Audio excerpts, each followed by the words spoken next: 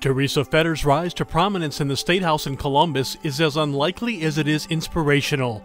The Judith Herb College of Education's recipient of the 2013 Outstanding Alumna Award is officially State Representative Fedor and previously Senator Fedor. But whatever you call her, know this Teresa is a powerhouse in Ohio, and it's her foundation as a teacher established here at UT that continues to drive her thought process. It hasn't been easy.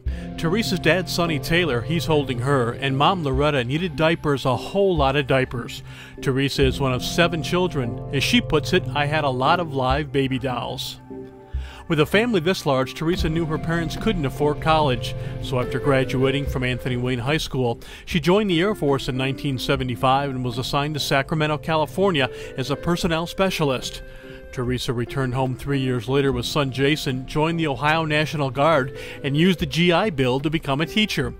Jason saw his mom get her diploma in 1983, as did her sisters Lori and Angie. The next 18 years of Teresa's life were spent in the elementary classroom, primarily with Toledo Public Schools.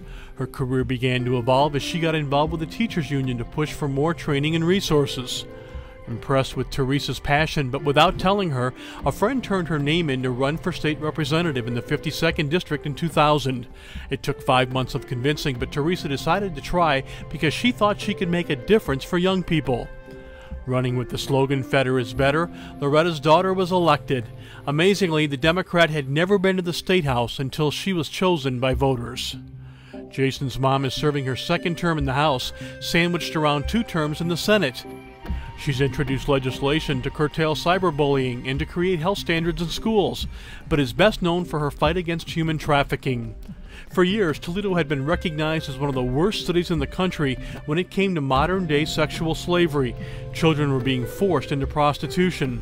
Governor Ted Strickland in 2009 signed her human trafficking legislation into law, which was followed one year later by legislation that made trafficking a standalone second degree felony.